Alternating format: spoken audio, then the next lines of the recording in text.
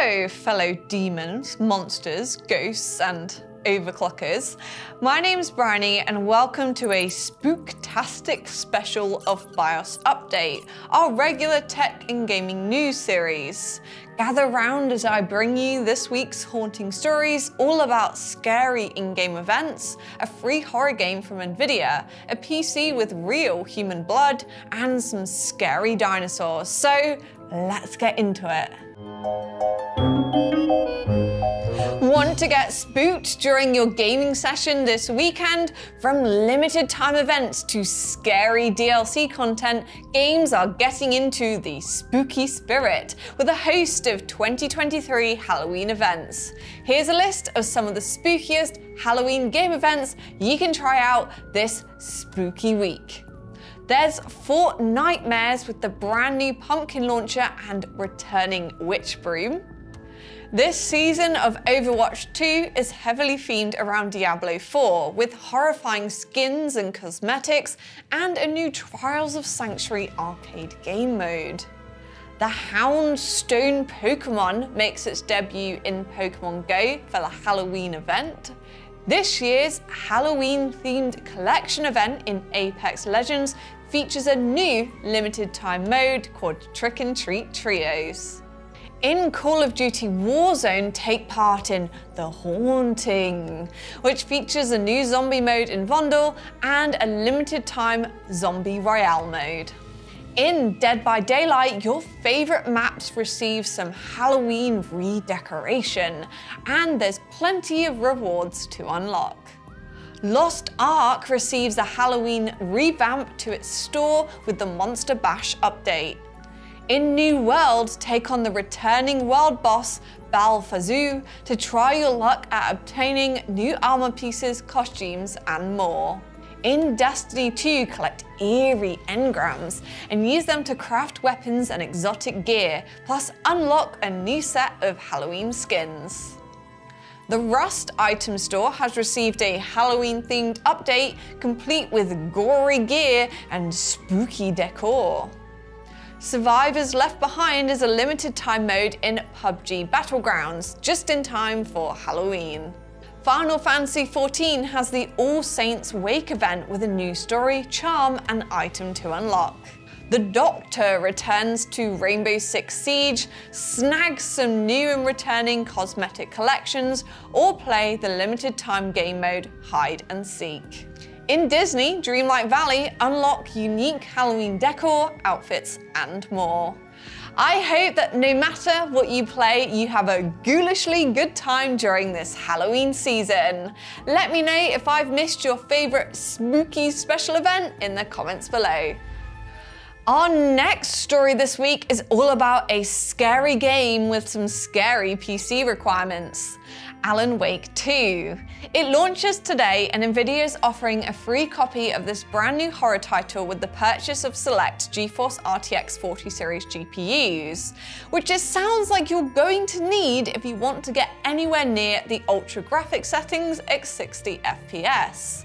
Supposedly, the game has been built from the beginning as a 30 FPS experience, focusing on visuals and ambience. That means a lot of demanding textures, detailed foliage, and cinematic lighting. And I must admit, the tech overview trailer looks incredibly realistic and immersive, ideal for a story-focused horror title. This translates into a list of recommended hardware that includes a Ryzen 7 3700X or Intel equivalent, 16 gigs of RAM, an RTX 3070, 4070 or 4080. An SSD is needed and you'll need at least 90 gigs of capacity. If you want to play Alan Wake 2 and are in the market for a new GPU, do remember this promotion is only available until November 13th so act fast if you're interested. Qualifying GPUs start at the RTX 4060 all the way to the 4090 and includes laptops and PCs powered by these GPUs. I'll drop a link with more info below. Blizzard is out for blood, or more specifically, Diablo, who are running a Blood Harvest Halloween event. During the season of Blood, Diablo are offering fans in-game rewards in exchange for donating their blood until November 20th. Players in the United States over 18 can log their contribution towards the target total of 666 quarts of blood. Crimson coated cosmetics will be unlocked upon hitting 33, 66 and 100% of the goal, and all players that own Diablo 4 will receive in-game rewards once the tiered milestones are reached. Plus, once the grand total is reached, a sweepstakes for a custom red-black liquid-cooled PC with i9, RTX 4090, 3TB of storage and a real human blood will unlock. Unfortunately, the giveaway is only open to vampires in the US. The idea of a blood-infused item being given away may seem a little bit bizarre, but Blizzard is not the first company to hop on the idea of infusing a product with blood. In 2021, Lil Nas X released a custom pair of Nike trainers infused with a drop of human blood.